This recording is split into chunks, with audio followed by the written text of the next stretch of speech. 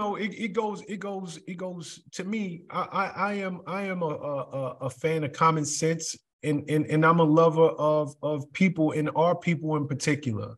Um, you know, in in it just always fascinates me when we see these stars, and and and you think that um, you know, they just happen to turn up in the media every five minutes. No, that that's planned. It's plotted. It's contrived. It is. Um, but let's switch subjects. We we we we we talked about the greats um, in this conversation. I, I, we would be remiss if we didn't mention Mr. Chris Rock. Did, did, did you get the chance to see his comedy special? I did. I enjoyed it. I thoroughly enjoyed it. You know, full disclosure, I'm another, I'm a big Chris Rock fan. So uh, I think it was part of course. Uh, I, I I really enjoyed it, and I was surprised at the pushback that it, it, it received from from all people, from black people, from white people. I, I have to admit, I was a little surprised. Uh, he, he received a lot of pushback. You know, when you say uh, pushback, what do you mean? Be specific. Uh, mixed reviews uh, people who were offended, people who didn't like it. Uh, you know, when he did bigger and blacker, uh, when he when he, his other comedy specials to me were met with some controversy, but even the controversy they were met with was still positive. You know what I mean? Where people say, "Oh man, he, he, he you know he said this," but people liked it. I was just shocked that uh, this one didn't hit as hard as I thought with everybody. That's what I thought. You know, me, me and you, we spoke earlier about woke culture. We spoke earlier about being politically correct. Uh, and we also spoke about comedians specifically um, being shackled, um, not being able to speak truth for fear of being canceled. Um, before I give my thoughts, I, I, Dave Chappelle is here and Chris Rock is right here. Like, like, and it used to be the other way.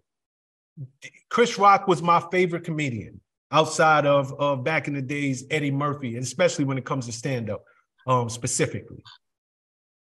But with that being said, I, I didn't find this thing as funny um, as a normal Chris Rock special. I thought that Chris Rock, you know, and, and I'll give my thoughts and then I want to ask you a question.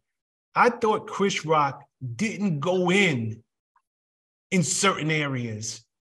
And it almost felt as though he was thinking, how far can I push this envelope for fear of backlash? Now, that's just what Shawn took from it. But even a comedian on his level, I felt like the timing was off with some of his jokes. I felt like I saw the jokes coming and I also felt, whereas Chris Rock of old would have went in, this Chris Rock was very conscious of the world that we live in. And because of that, his jokes didn't feel as authentic as they felt in the past. And, and, and that, and for that reason, I didn't think it was as funny as bigger and blacker. Um, and I also think, let's just call it what it is you you you when when when the legends perform, you go to their shows. I, I, am not interested in in going to a Mary J. Blige concert and Mary giving me new music. I, give me what's the 411. Give give me them classics that that that I know and love you for. People went to that, people tuned in to that special because they wanted to hear his thoughts on Will Smith and Jada Pinkett Smith. And he gave seven minutes out of an hour and 15 minutes to that topic. And I feel like people felt, come on, man, you know why we here. We love you as a comedian. But we came for a specific reason. And instead of just giving us our money's worth on why we came in the first place, at the end of the show, you gave us a sprinkle. And I think that was a letdown. And I'm just talking as a fan. Well, a lot to unpack here. First of all, in my opinion, you know, and I, I like using analogies.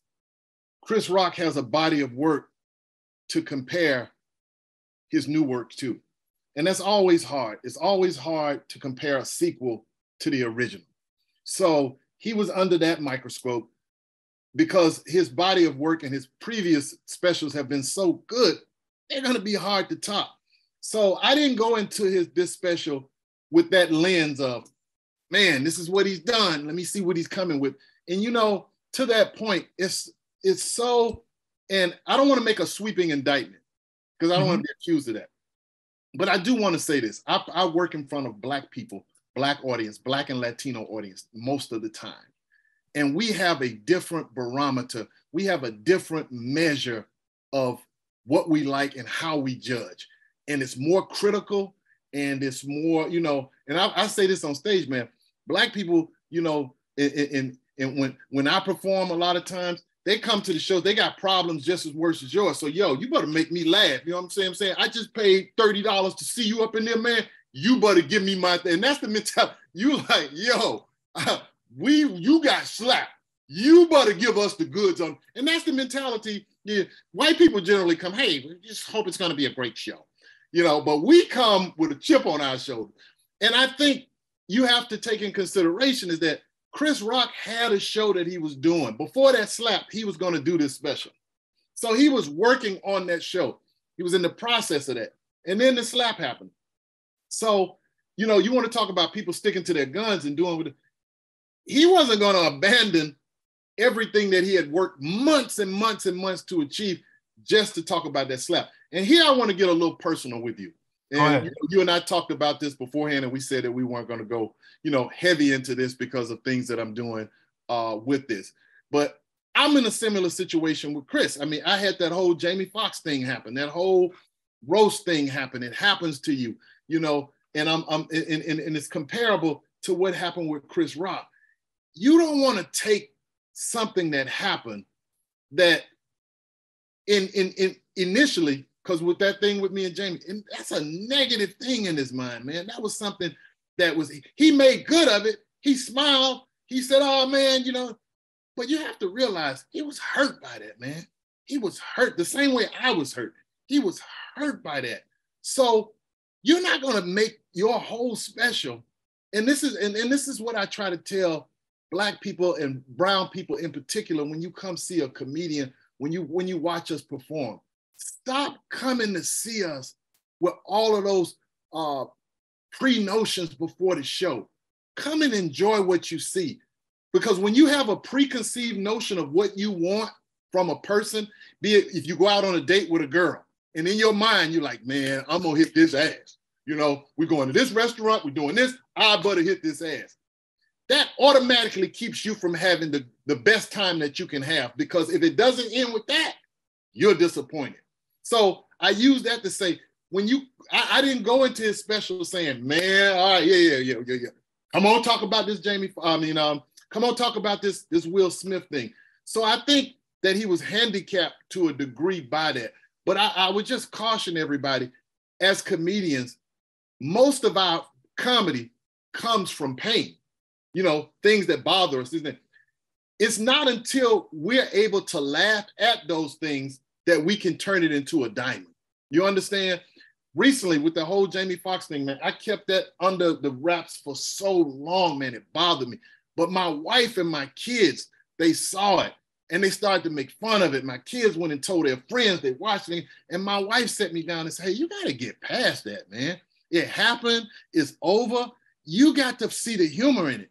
And I just recently, within the last three or four years, got to the point where I could watch that, you know, that I can talk about it. It's funny. I'm doing a documentary on it now. You understand? But I could have never done that until I got past it. So we don't know, like you said, with with uh with uh Dave Chappelle, we don't know where he is with that within himself. You understand what I'm saying? Who we talking? Chris Rock. Chris Rock. Chris Rock. Okay. We don't know where he is with that. We do know I know he said to himself, hey, I gotta address this because it's the elephant in the room. But to go into grave detail and to give more, we don't know if, if, if in his heart, that's where he really is. And in order, I know this, and I'll, I'll end it with this. As a comedian, in order to fully extrapolate everything from something to make it completely hysterical, you have to feel that way yourself. So, mm. you know, I, I, I'll say that on Chris on Chris Rock's behalf. What's up, guys? Thanks for sticking with me to the end of the video. Truly appreciate you. If you like anything you heard here today, go ahead and hit that subscribe button. And if you know anybody that can benefit from this message, feel free to share. Peace and love. Make every move a power move, and I'll catch you all on the next video.